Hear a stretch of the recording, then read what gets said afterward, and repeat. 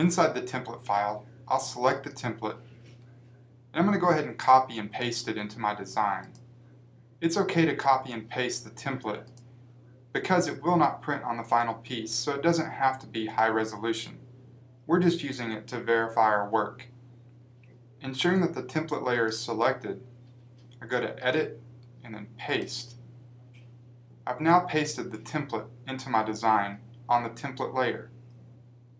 Now with my template in place, I'm going to go ahead and turn off my color guides just so that we can see the template a little bit more clearly. As a side note, we talked about the purple line being the margin line earlier and it not being important to the document. When I set this design up, I created the margins to be zero, so that's why the purple line goes to the document's trim line. To turn the color coding off, again, go to View, Grids and Guides, and then Hide Guides. You can now clearly see the template on top of my design. You can see that my document's background and images which go to the edge of the document when it trims extend past the document's edge by an eighth of an inch to the edge of the bleed line. Also, my safe area should be fine. I'll zoom in just to double check because it's a little hard to tell from here. Again, the safe area is represented by the small dotted line. Looking at my text, it falls well within the safe area, so it doesn't run the risk of trimming off. All the elements of my design appear to line up properly with the template.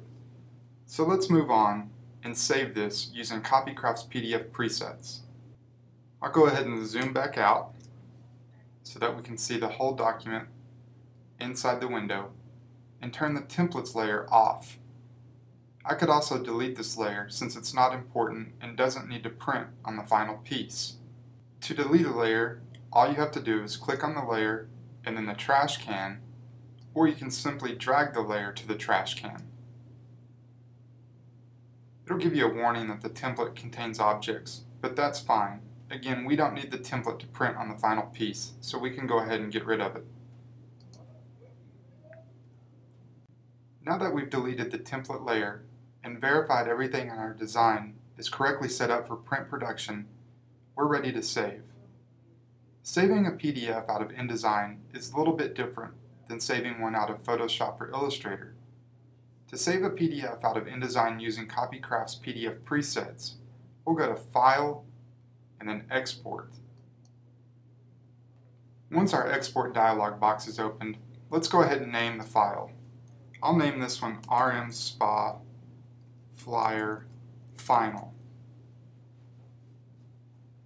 You can save it to your desktop as I'm going to do, or if you have a folder you prefer to save things to, simply navigate and find that folder. Once you've found the place to save it, let's click on the Format drop-down box we want to ensure that we select the Adobe PDF option.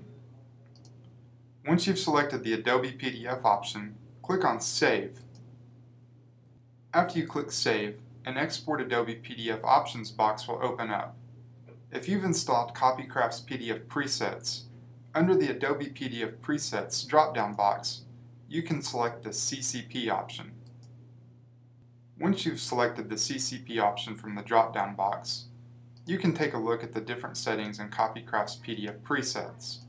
However, there's no need to change any of these settings, as they're set up to produce an optimal PDF for Copycraft's print standards. Once you're done, click on Export to begin saving this document.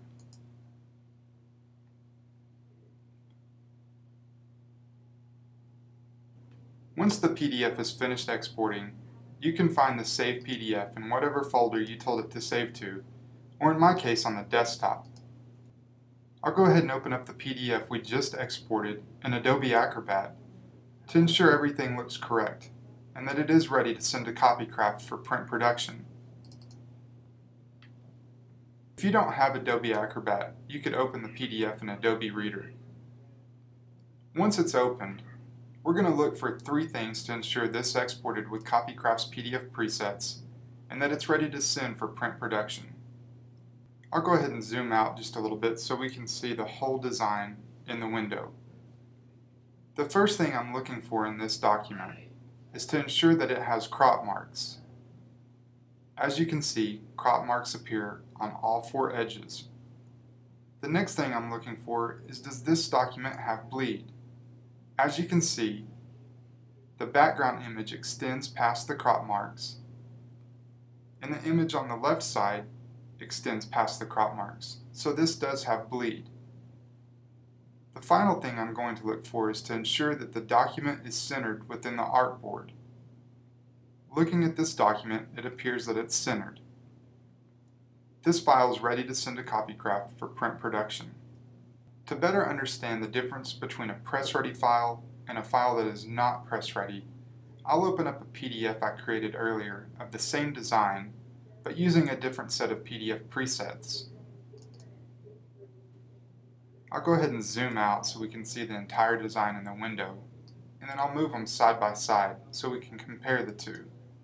The file on the left is our press-ready file, and the file on the right is the file which is not press-ready.